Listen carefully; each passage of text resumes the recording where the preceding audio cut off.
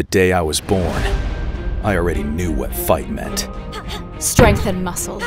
Calm your brain. Be faster than your enemy. I thought myself unbeatable.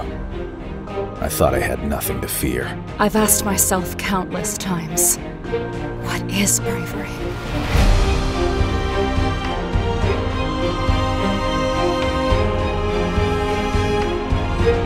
Someone told me once a hired gun starts to trust others, he is not far from his death.